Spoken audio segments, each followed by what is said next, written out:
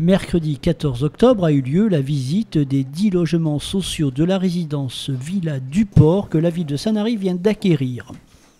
Villa du Port est une réalisation privée située en plein centre-ville face à la médiathèque. Elle comprend 49 appartements dont 10 logements sociaux, 2 T1, 5 T2, 3 T3 et 9 places de stationnement associées.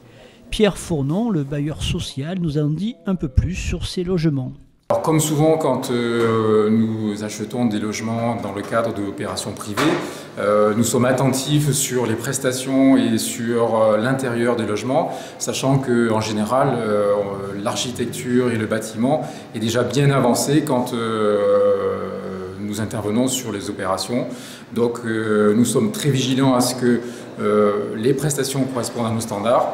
Mais c'est vrai que, et notamment c'est le cas aussi de cette résidence, euh, la conception était déjà très avancée, donc nous n'avons pas pu intervenir de manière significative sur le, bâti et sur le clos et couvert. Mais néanmoins, vous pouvez le constater, les prestations sont de très très belle qualité et nous sommes très heureux de pouvoir intervenir en tant que bailleur social sur ces 10 logements.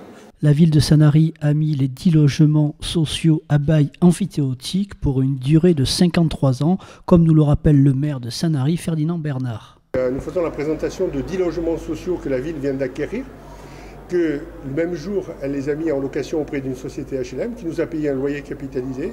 Et euh, ce loyer capitalisé, plus une partie des pénalités SRU, paye donc ces logements, c'est-à-dire qu'ils ne coûtent pas un centime de plus aux contribuables salariés. Euh, les loyers seront entre 5 euros et 9 euros le mètre carré.